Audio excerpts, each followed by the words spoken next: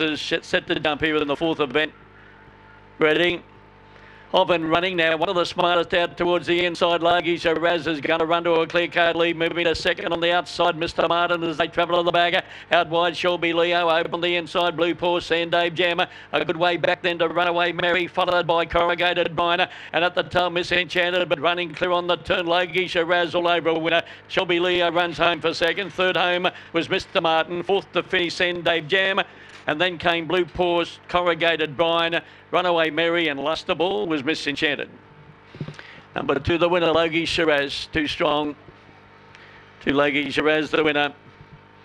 Logie Shiraz by Lochinvar Marlow, Be My Girl.